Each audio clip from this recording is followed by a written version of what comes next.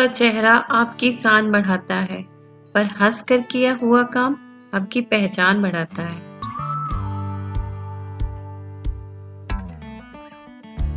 Hello everyone good morning कैसे हैं आप सब? आई होप आप सब बहुत अच्छे होंगे। और आज देखिए कितना सुंदर मौसम हुआ है।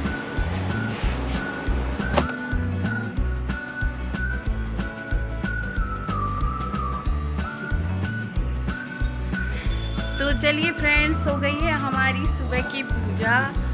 और आज क्योंकि कल मेरा फास्ट था तो हमने चाय पानी भी पी लिया है। तो चलिए फ्रेंड्स अब कुछ बना लेते हैं। तो चलिए बना लेते हैं मीठा मीठा हलवा, और हम बनाएँगे आटे का हलवा। पहले हम घी में थोड़ा सा मेवा फ्राई कर लेंगे।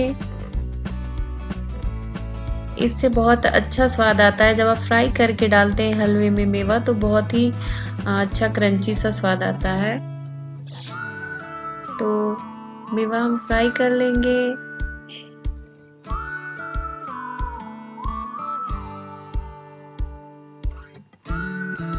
और यहाँ पे हम अब घी में डाल देंगे आटा, जो हमने छान के रखा हुआ था। और इसको धीमी आँच पे उसको अच्छे से एकदम गोल्डन ब्राउन होने तक भूनेंगे।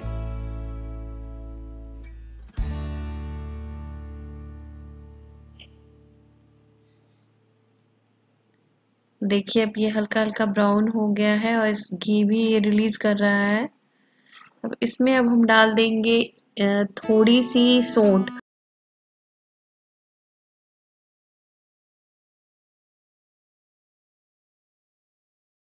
और ये है थोड़ी सी इलायची पाउडर और हमने ये जो मेवा भून के इसको क्रश करके रखा हुआ था, वो भी डाल देंगे।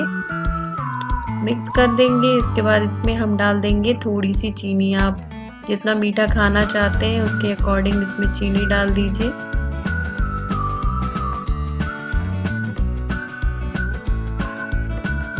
चीनी डालने के बाद इसको मिक्स कर लेंगे और इसमें अब डाल देंगे हम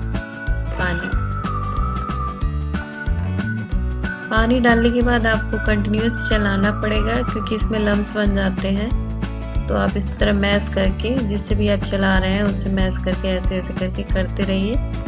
फिर थोड़ी ही देर बाद ये गाढ़ा हो जाएगा। देखिए, ये इतना गाढ़ा हो गया है।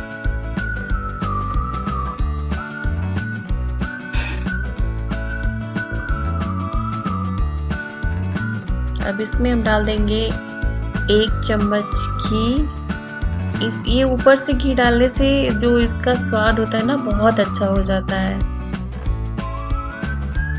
इसके बाद इसको मिक्स कर लेंगे और लीजिए, हमारा हलवा तो तैयार हो गया है।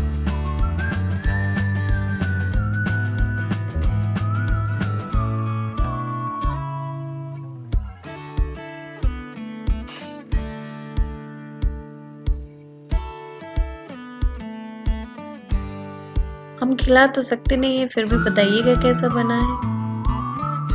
चलिए, इसके बाद हम बना लेते हैं सब्ज़ी। तो हम यहाँ पे बनाने जा रहे हैं आलू और सोयाबीन की सब्ज़ी।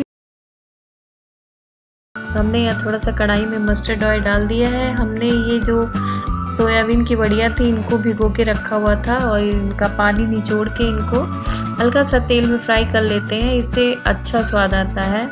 और इसके बाद इसमें थोड़ा सा और ऑयल डाल देंगे। गरम हो जाएगा तो इसमें डाल देंगे थोड़ा सा मेथी थोड़ी सा जीरा, हींग और हरी मिर्ची हमने काट के रखी है, ये भी डाल देंगे। इसके बाद हम डाल देंगे इसमें हल्दी पाउडर और गरम मसाला। इसके बाद हम इसमें डाल देंगे टमाटर, क्योंकि हमारे मसाले जले नहीं। और इसके बाद इसमें हम डाल देंगे नमक। इसके बाद इन सबको अच्छे से मिक्स कर देंगे। और इनको ढक के रख देंगे गलने के लिए। जब ये खूब अच्छे से गल जाएँगे, हमारे मसाले भी पक जाएँगे, तब इसके बाद से इसमें हम बाकी सब डाल देंगे। देखिए, मसाले गल गए हैं। तो यहाँ पे मसाले हमारे तैयार हो गए हैं। अब इसमें हमने जो आलू बॉईल करके रखा था और साथ में ही जो सोयाबीन भून के रखा था उसको भी डाल देंगे और इसे अच्छे से मिक्स कर देंगे।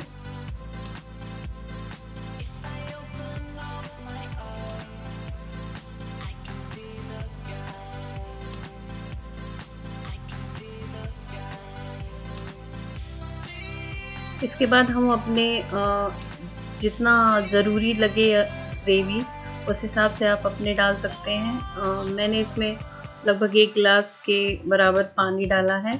बहुत ज़्यादा ग्रेवी भी नहीं करेंगे, बहुत ज़्यादा सूखा भी नहीं करेंगे।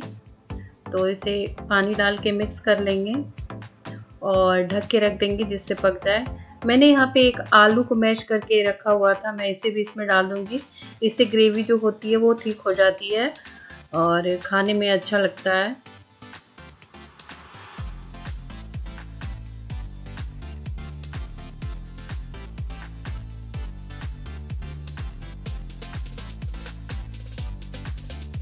मुझे यहाँ पानी थोड़ा कम लग रहा था तो मैंने थोड़ा सा और मिक्स कर दिया था।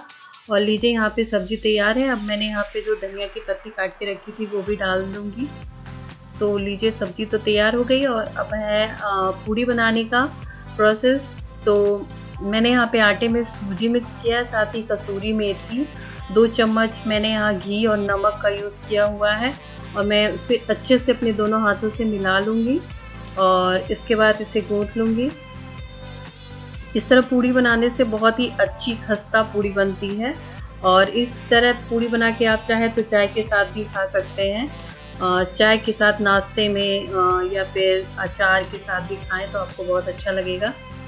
और फ्रेंड्स आप लोग बताइए हमारी रेसिपी कैसी लग रही है आप लोगों को और हमारे ब्लॉग्स कैसे लग रहे हैं? आप लोग कमेंट करना बिल्कुल भी बंद कर दिए हैं। और प्लीज़ आप लोग कमेंट ज़रूर किया करिए। आप लोग के कमेंट से मुझे बहुत ज़्यादा मोटिवेशन मिलता है, एक जुड़ाव महसूस होता है कि आप लोग मेरे ब्लॉग को देखते हैं तो उसमें इंटरेस्टेड भी होते हैं।